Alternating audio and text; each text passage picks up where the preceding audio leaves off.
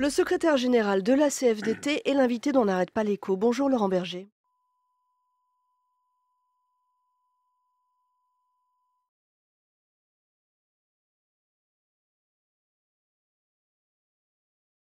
On entend parler de démission silencieuse, d'abandon de poste, de refus de CDI. Laurent Berger, le rapport des Français au travail, est-ce qu'ils sont de plus en plus nombreux à revendiquer un droit à la paresse? Alors, en attendant, les politiques, eux, ils veulent, pour résorber euh, ces problèmes de recrutement, euh, faire avancer la loi, les textes. Cette semaine, mercredi, on a les députés qui ont voté sur les abandons de poste. Les salariés seront présumés démissionnaires et donc ils ne toucheront plus l'assurance chômage. D'abord, je veux juste Bonne mesure dire, ou pas les deux- Donc vous dites quoi? Vous dites, vous dites là, Je les dis- députés. les- Non, les je dis qu'on légifère. Je, dis que c'est un phénomène qui existe, Hum. euh, peut-être. On dit qu'il est On- en augmentation. Oui, mais on ce que dit, dit on dit, on, on légifère sur des on-dit.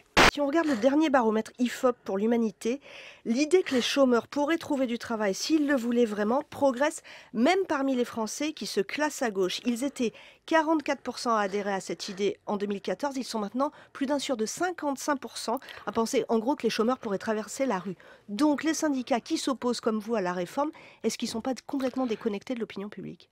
Laurent Berger, l'autre dossier qui vous concerne, c'est la réforme des retraites. Une concertation, là encore, à mener en trois mois avec un projet de loi début 2023. Est-ce que sur le principe, sur le fait qu'il va falloir, après le rapport du Conseil d'orientation des retraites, il sur le fait qu'on a un problème d'équilibre financier du système, est-ce que là vous êtes d'accord? 12 milliards de déficit en Oui. 2027, c'est pas grave. 20 milliards en- 324. on C'est le troisième sujet de la concertation. Mais est-ce qu'on doit on va travailler.